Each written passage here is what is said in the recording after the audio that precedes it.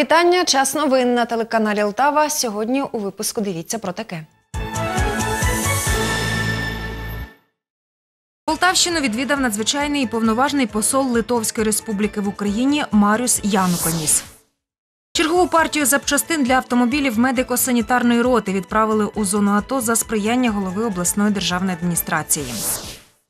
Депутати обласної ради занепокоєні станом річок Полтавщини. Постійна комісія з питань екології та раціонального природокористування провела виїзне засідання у шести районах області. Як побороти корупцію в Україні, розповідала у палаті старший аналітик департаменту антикорупційної політики громадської організації Transparency International Україна. У художньому салоні на Жовтневі відбулася презентація виставки картин молодої художниці Марини Герасименко. Кременчука. Президія обласної ради провела виїзне засідання. Депутати разом із директорами профільних департаментів облдержадміністрації на місці ознайомилися з ходом будівництва другої черги Полтавського обласного протитуберкульозного диспансеру. Вирішували, чи виділяти на пленарному засіданні сесії 14 травня 10 мільйонів на будівництво очисних споруд диспансеру. Будівельники закінчують спорудження діагностичного корпусу обласного протитуберкульозного диспансеру, утеплюють стіни. Цього року планують вести в дію очисні споруди. За остаточними підрахунками на це необхідно більше 10 мільйонів гривень. Тут добудовується корпус, і ми повинні зробити очисні споруди для того, щоб очищати стічні води, які будуть заражені е, паличкою коха, щоб вони могли вільно йти у міську каналізаційну мережу. На це ми запланували у програмі по екології виділяти близько 10 мільйонів гривень. Голова обласної ради сподівається на здоровий глузд депутатів і на те, що при затвердженні змін до обласного бюджету вони проголосують за. Адже на будівництво диспансеру вже витрачено не одну сотню мільйонів гривень із різних джерел. І врешті об'єкт потрібно довести до завершення. Завжди довго буде, це проблема. Ми ж розуміємо. І, але ми е, в минулому році зробили кришу. В цьому році, ви бачите, ми активно займаємося фасадом, утепленням фасаду для того, щоб вже не було ніякого, е, нічого не руйнувалось. Ну і руйнувалась е, поліклініка, тому що поліклінічне відділення, тому що підмокли ґрунти, коли був котлован. Зараз ми від цього хочемо йти, тому що у нас по проекту ж там ще й е, п'яти, п'ятиповерховий корпус. Цього ж дня члени президії побували в обласному комунальному підприємстві Аеропорт Полтава, оглянули термінали, злітну смугу, диспетчерську та приміщення. Об'єкт перебуває у задовільному стані. Нині тут працюють 42 людей. Тренуються курсанти Кіровоградської льотної академії та Харківського інституту повітряних сил. Проблема заборгованість по заробітній платі вже за півроку не виплачувалася. А це основна проблема. Аеропорт содержимо як можемо. Е, Всі служби сертифіціровані зараз на даний момент. е, Виповняти можуть е, зліт посадку повітряні судна. Коштів на хазяйственну діяльність у нас вистачає, а от на зарплату у нас коштів зараз не вистачає, тому ми просимо обласну раду, обласну державну адміністрацію фінансуванням нам прискорити.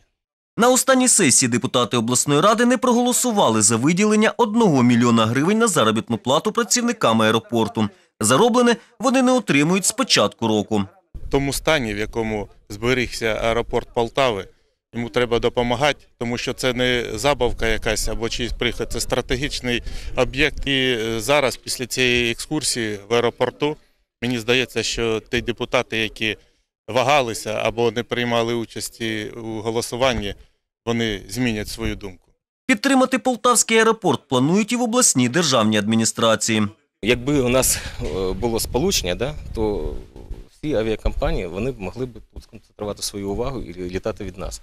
Але так склалося, що на сьогоднішній день ви самі бачите, в якому стані знаходиться наш аеропорт, що потрібно тут долучатися до ремонту злітно-посадочної смуги, що треба тут робити шви, сигнальне обладнання треба робити, що потрібно його довести до того стандарту, Зараз обласна державна адміністрація проводить консультації та переговори з консалтинговими компаніями, щоб проаналізувати стан підприємства та розробити перспективний план його розвитку. Сьогодні на Полтавщині з робочим візитом перебував надзвичайний і повноважний посол Литовської республіки в Україні Марюс Януконіс. Він зустрівся з першим заступником голови обласної державної адміністрації Андрієм Пісоцьким. Литва давній і добрий партнер Полтавської області. Тільки минулого року оборот товарів між Полтавщиною та Литвою становив понад 23 мільйони доларів. З року в рік обсяги зростають, а тому на сьогодні завдання номер один поглибити співпрацю у різних напрямах. Передусім, перспективними є енергозбереження, екологія, переробка продукції. Набирає оборотів і співпраця у гуманітарній сфері, навчанні програм, обмін студентами, відкриття освітніх центрів. Обговорили теж низку конкретних, конкретних проєктів, конкретних е, ініціатив е, щодо спів- співпраці в різноманітних галузях і в освіті, і в науці, і в здравоохраненні, і економіки, і бізнес-проєктах, і як е, Литва може допомогти Полтавському регіону в інтеграції до Європейського Союзу. У нас на сьогоднішній день е, основні підприємства, які працюють в потужній промислові, у них раніше ринок збуту був е, Росія. От. Зараз цей ринок для нас закрит. Тому ми шукаємо інші ринки збуту. Ми звернулися до пана посла для того, щоб він посприяв е, залучення литовських бізнес, е, щоб ми запросили литовських бізнесме- бізнесменів, щоб вони поспілкувалися для того, щоб ми е, змогли просувати і презентувати нашу продукцію на ринках Чи буде Полтавщина з прісною водою? Ця проблема була актуальною в усі часи існування незалежної України. Та останнім часом вона набуває ознак екологічної катастрофи. За даними управління Агентства водних ресурсів України у нашій області із 145 річок негайної розчистки потребують 75 або 3800 кілометрів русел. На це потрібні величезні гроші. У той же час у програмі розчистка річок, яку обговорюватимуть завтра на черговому засіданні сесії обласної ради, лише 13 об'єктів, на які зі спецфонду бюджету області передбачено виділити 4 мільйони гривень. На об'єктах водного фонду у шести районах області побували члени комісії обласної ради з питань екології та раціонального природокористування. Думати про те, що розчистка річок це проблема лише фінансова, велика помилка, говорять представники місцевих громад, які потрапили у тенета бюрократичних процедур, перш ніж приступити до практичних робіт. Тендер сьогодні тормозить цей шлях, і сьогодні різні підставні фірми е, влазять у ці тендерні процедури, і ми не виконуємо те, що хочемо. Загострює попередню проблему ще один нюанс. не дуже багато так е, у нас е, в області можна знайти підрядчиків, які б согласилися б розчищати річку. Чому вони не дуже так е, їх багато і вони не дуже беруться? Повільно е, виділяються кошти. Пересвідчитись на власні очі і переконати своїх колег у сесійній залі. Голова комісії обласної ради з питань екології та раціонального природокористування Тетяна Корост каже, такі виїзні засідання надзвичайно корисні для її колег. Ви розумієте, скільки в нас річок, таких річок, от, які течуть в таких селах, районних центрах і так далі. Ну, ну, треба більше коштів виділяти. Якщо хтось сьогодні говорить, що сьогодні в нас війна, там, що потрібні, да, ми це розуміємо, що війна це катастрофа, але це воєнна катастрофа. Ми хочемо, щоб ми не дожили до екологічної катастрофи. А інформації для роздумів досить, адже замулення річок Полтавщини означає не лише поступове зникнення водного об'єкту, де люди ловлять рибу чи на лоні якого відпочивають. Це ж не просто річка заболочується. Це спочатку це болото, потім пропадає вода в колодязях, в шахтних у людей. Ну і врешті-решт е, ресурс прісної води держава втрачає взагалі. У нас вже дерево не росте. Ми садимо, а воно не росте. А чого не росте? Тому що рівень воду впав десь на 2 метри. Все, оце і відповідь на всі питання. Тому що більше вже, мабуть, 20 чи 30 років вже річки не, не, не числилися, річки забруднилися, річки заросли. Поїздка вразила і результат у сесійній залі буде, переконаний заступник голови обласної ради Володимир Мікійчук. Проїхали райони, ми подивилися, яка проблема. Ми поспілкувалися з людьми, і я думаю, що депутати обов'язково підтримують на цій сесії рішення про виділення коштів, тому що це громада, це, це питання, які сьогодні болючі, і не, не тільки сьогодні, а й на перспективу. Це наші діти, це наша екологія, це наше здоров'я, це наше життя. Чи отримують 13 річок гроші на розчистку, побачимо вже 14 травня під час другого раунду 28-ї сесії обласної ради. Та що ж робитимемо із 62 водними об'єктами, звідки постачають прісну воду мешканця Полтавщини? Питання поки що відкрите. Чергову партію запчастин для автомобілів медико-санітарної роти відправили сьогодні із Полтави у зону АТО. Всього завдяки обласній державній адміністрації закуплено необхідних для ремонту матеріалів на суму 60 тисяч гривень. Командир військової частини 8-ї окремої медико-санітарної роти Анатолій Тополя говорить, що автомобілі у них не нові. Середній вік 13-14 років, тож ремонту потребують постійно. До того ж, вони нерідко потрапляють під обстріли. Працюють лікарі у найгарячіших точках – у Краматорську, Авдіївці, Гранітному, Пісках, Тоненькому, Маріуполі. Полтавські медики вивезли з передової не одну сотню поранених бійців і врятували не одне життя. Ми у лютому місяці відправляли запчастини десь на суму близько 130 тисяч е, запчастин, які куплені на кошти Валерія Анатолійовича Головка. І сьогодні, згідно заявки, яку нам подають командири, зокрема Анатолій Пилипович Тополя, ми виконуємо. І це не пафос, це, я б сказав, громадянська позиція голови обласної державної адміністрації і як громадянина України, який переймається проблемами е, Сходу. Е, сьогодні він повинен був тут бути і передавати цю інформацію і запчастини, але він зараз знаходиться в зоні АТО. Жодного тут пункту немає такого, який не виконаний. Ну, на суму трошки скромніше, ніж 130, на суму 60 тисяч гривень. Дуже велику вдячність хочу висловити обласної владі Полтавщини. Саме перше обласній державній адміністрації і особисто Валерію Анатолійовичу Головку за те, що він, коли ще ми формували е, в Акулинцях окрему восьму санітарну роту, він теж допомагав запчастинами і всім іншим. Україна чи не на першому місці у світі за рівнем корупції. Така ситуація вкрай бентежить громадських активістів. До Полтави завітала старший аналітик департаменту антикорупційної політики громадської організації Transparency International Україна Алла Волошина. На прес-конференції гостя окреслила детальний план дій, як побороти це ганебне явище у нашому суспільстві.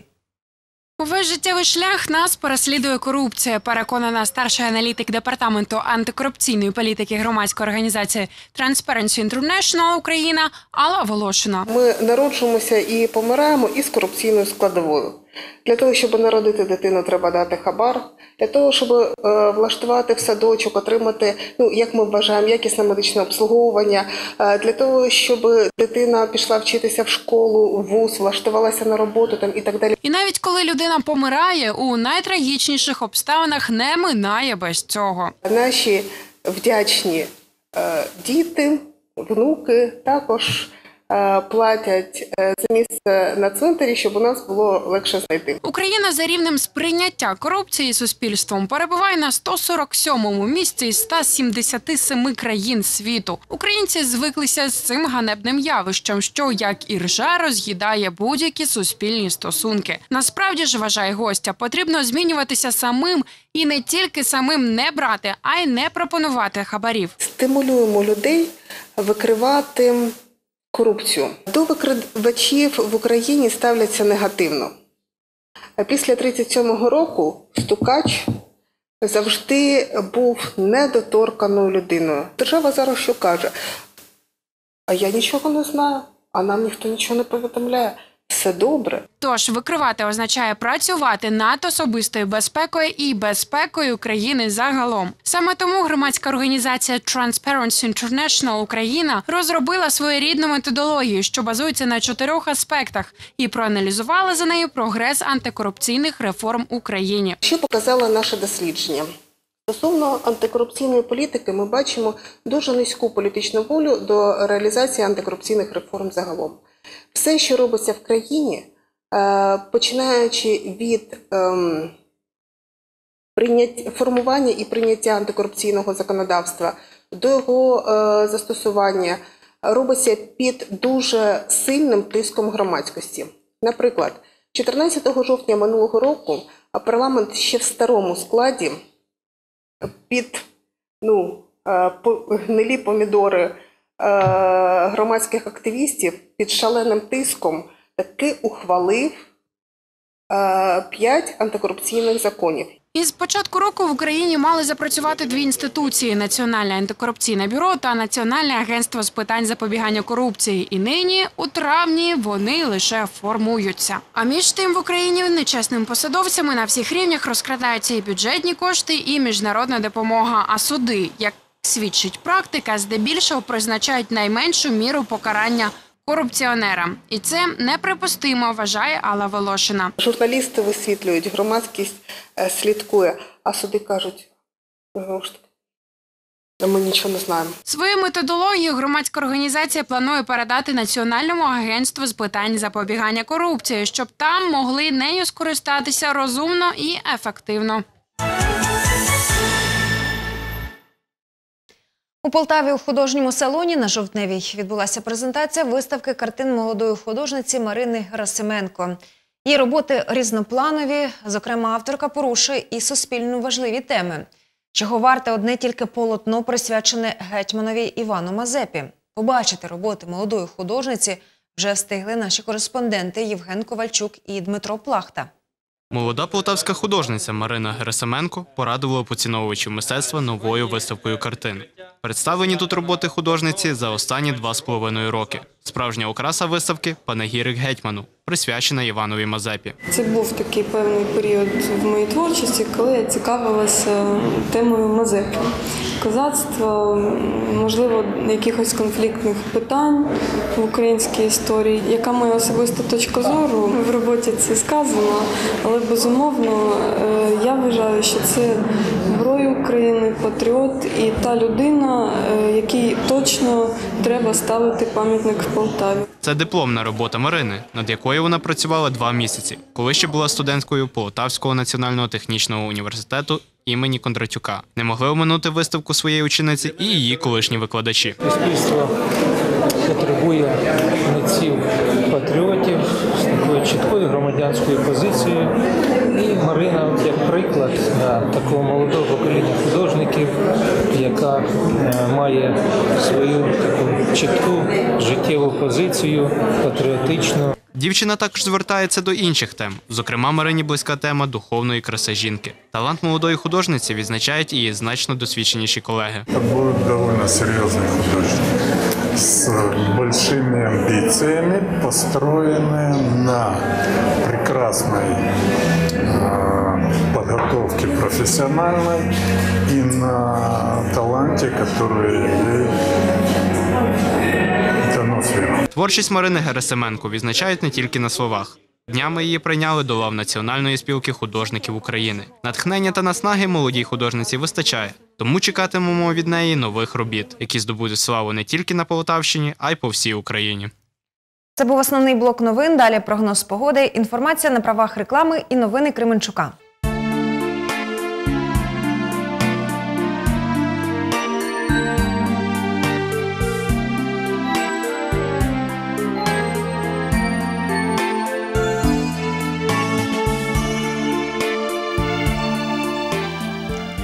Сьогодні вночі та завтра вдень у Полтаві та області очікується мінлива хмарність.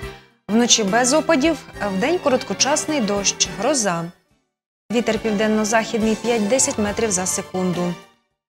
Температура повітря по області вночі 6-11, вдень 17-22 градуси тепла. У Полтаві вночі плюс 8-10, а вдень 19-21 вище нуля.